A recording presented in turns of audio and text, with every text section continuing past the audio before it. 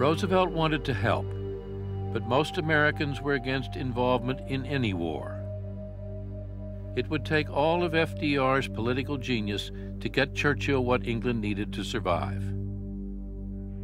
We cannot and we will not tell them that they must surrender merely because of present inability to pay for the weapons which we know they must have. Congress had prohibited Roosevelt from sending weapons unless England paid in cash, and England was bankrupt. The president would have to outmaneuver the lawmakers.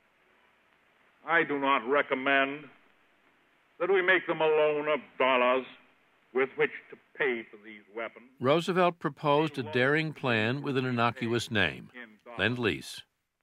Lend Lease was a way to give the British planes, tanks, guns, artillery, ammunition, without them really paying for it. And reporters at a press conference asked him, What does this mean? What does Lend Lease mean? Roosevelt explained that we would lend England the weapons, and when the war was over, England would return them. It was like lending a neighbor a garden hose to put out a fire, he said. After the fire was out, the neighbor would simply return the hose. Well, of course, it was patent nonsense. What were the British going to do? Give us the tanks back that were blowing up, uh, the planes that were shot down? But Roosevelt's invocation of this homily about the neighbor and the garden hose is a wonderful way for him to sell it to the public.